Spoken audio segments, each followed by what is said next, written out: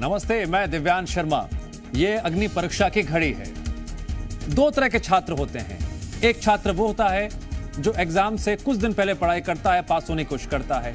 एक वो छात्र होता है जो पूरे साल पढ़ाई करता है और अव्वल आने की पुरजोर कोशिश करता है, कदम आगे बढ़ाता है। मध्य प्रदेश की सियासत में भी आजकल कुछ ऐसा ही हो रहा है। कोशिश हो रही है, लेकिन इस 24 की लड़ाई में तैयारी किसकी जोरदार है इस लिहाज से मैं ज़िक्र करना चाहूँगा सबसे पहले खजुराव का, जहाँ एक तरफ़ अपनी सांस्कृतिक धरोहर के लिए मशहूर है। तो वहीं अब 2024 के लोकसभा चुनाव से पहले ये हाई प्रोफ़ाइल सीट राजनीति का अखाड़ा बन गई है। एक तरफ़ जहाँ कांग्रेस सपा के दो लड़कों की जोड़ी अपनी खोई हुई ज़मीन को तलाशने के लिए साथ निकल पड़ी है तो वहीं बीजेपी के सबसे बड़े रणनीतिकार माने जाने वाले अमित शाह अब इसी सीट से एमपी का सियासी माहौल बदलने आ रहे हैं। आखिर अमित शाह की ओर से बिछाए गए इस चुनावी चौसर में किसकी होगी शय और किसकी होगी मात? अग्नि परीक्षा में आज इसी मुद्दे पर हम करने जा रहे हैं चर्चा।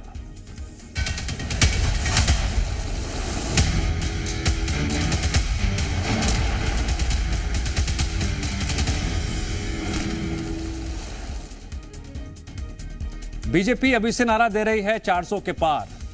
कांग्रेस भी कह रही है कि इंडिया गठबंधन मजबूती के साथ लड़ेगा, बतौर विपक्ष कड़ी चुनौती देगा। इन तैयारियों के लिहाज से मध्य प्रदेश की उनतीस लोकसभा सीट बेहद महत्वपूर्ण है। मध्य प्रदेश में लोकसभा चुनाव की तैयारियाँ तेज भी हो गई हैं। लोकसभा चुनाव में 400 का आंकड़ा पार करने के लिए एमपी बीजेपी ज़ोर शोर से तैयारी में जुट गई है। सबसे पहले बात करते हैं खजुराव की।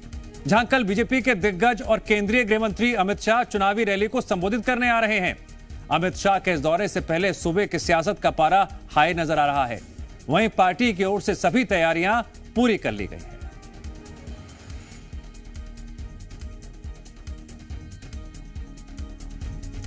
लोकसभा चुनाव की दृष्टि से भारत के गृह मंत्री, जिन्होंने इस देश के अंदर जैसे प्रधानमंत्री नरेंद्र मोदी जी ने सारे गुलामी के प्रतीकों को समाप्त करने का संकल्प लिया है तो माननीय अमित शाह जी ने भी अंग्रेज़ों के उन काले कानून के तौर पर जो बराबर कुछ न कुछ रिफ्लेक्शन जो आते रहे हैं, उन सारे आईपीसी से लेकर के सारी चीज़ों को बदलने का काम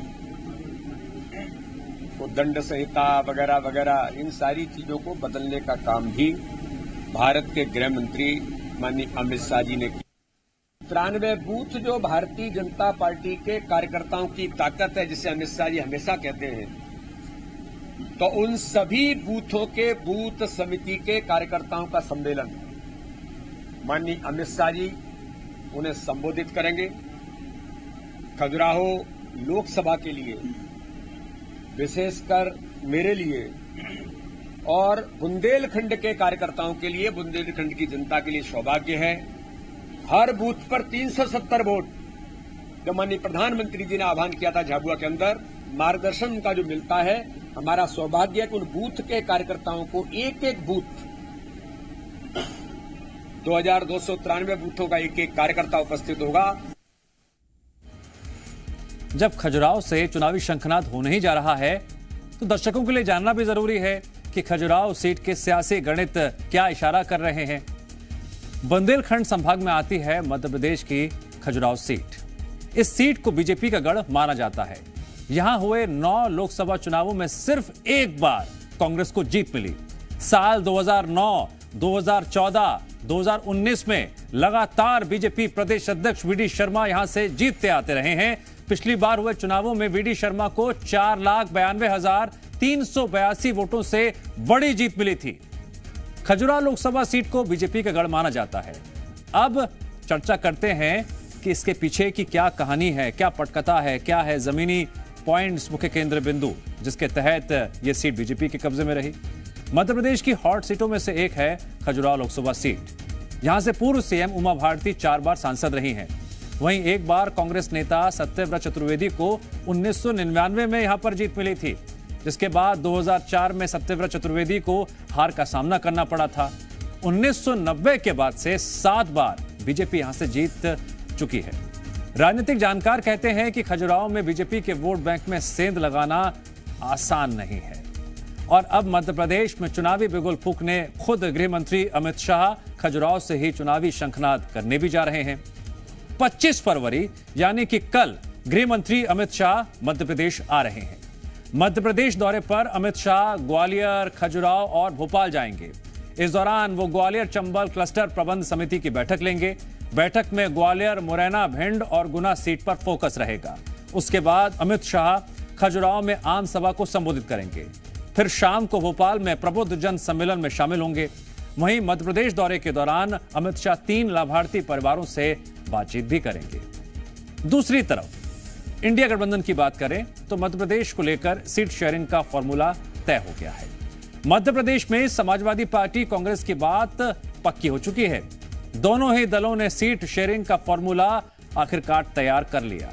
उनतीस में से एक सीट पर समाजवादी पार्टी चुनाव लड़ेगी। खजुराहो से चुनावी मैदान में होगी समाजवादी पार्टी, जहाँ इस वक्त खजुराहो से सांसद, बीजेपी प्रदेश अध्यक्ष वीडी शर्मा हैं। वहीं एसपी को खजुराव सीट देने पर बीजेपी तंज कसते नज़र आ रही है। जी मीडिया संवाददाता प्रमोद शर्मा जुड़ गए हमारे साथ। उस खबर पर और अधिक जानकारी के लिए प्रमोद, जब ज़िक्र खजुराव का होता है तो ज़िक्र कई दिग्गज चेहरों का होता है, पूर्व मुख्यमंत्री का होता है, मौजूदा बीजेपी प्रदेश अध्यक्ष का होता है और यहाँ की संस्कृति का होता है, यहाँ की विरासत का होता है। लेकिन 24 की लड़ाई के तहत शंखनाद करने खुद अमित शाह आ रहे हैं। मोर्चा विधानसभा में संभाला था, नतीजा क्या रहा था, अब क्या तैयारी है, क्या चुनौती है? देखिए, केंद्रीय गृह मंत्री अमित शाह के मध्य प्रदेश दौरे को लेकर सियासी जो पारा है, वो मध्य प्रदेश का हाई हो गया है। और लोकसभा चुनाव में सियासी छक्का लगाने के लिए केंद्रीय गृह मंत्री कल मध्य प्रदेश के दौरे पर रहेंगे और वो तीन अलग अलग संभागों में बैठ करेंगे और लोकसभा चुनाव की तैयारियों की देखिए ओपनिंग कर देंगे। यानी अभियान की शुरुआत करेंगे। छह घंटे से ज़्यादा का वक्त मध्य प्रदेश में बिताएँगे। बारह सवा बारह के आसपास मध्य प्रदेश पहुँचेंगे। मध्य प्रदेश के ग्वालियर में वहाँ पर ग्वालियर चंबल की जो लोकसभा सीट है, जो उनकी क्लस्टर बैठक लेंगे, उसके बाद खजुराहो। खजुराहो में एक जनसभा है और इसके बाद सीधा भोपाल पहुँचेंगे। भोपाल में प्रबुद्ध जनों के साथ बातचीत करेंगे। बुद्धिजीवी वर्ग से बातचीत करेंगे। उनके मन की बात जानेंगे केंद्रीय गृह मंत्री अमित शाह। वो क्या चाहते हैं? बीजेपी से क्या उम्मीद लगाए बैठे और उनको, बीजेपी को क्या और बेहतर काम करना चाहिए स्टेट में? स्टेट गवर्नमेंट को और केंद्र सरकार को। इसके अलावा जो केंद्र और राज्य सरकार की जो योजना है उनके पात्र से बातचीत करेंगे। कुल मिलाकर ये माना जा रहा है कि बीजेपी के सियासी चाणक जो रणनीतिकार है, केंद्रीय गृह मंत्री अमित शाह मध्य प्रदेश में छह घंटे देखिए बिताएँगे और वो तीन अलग अलग संभागों को साधेंगे। एक तो खजुराहो में रहेंगे तो वहाँ से पूरे बुंदेलखंड को कवर करने की उनकी मंशा रहेगी। और इसके अलावा ग्वालियर चंबल। ये बड़ा सियासी होल्ड वाला क्षेत्र है, क्योंकि भारत जोड़ो न्याय यात्रा भी पहुँच रही है, राहुल गांधी पहुँच रहे हैं उससे ठीक पहले।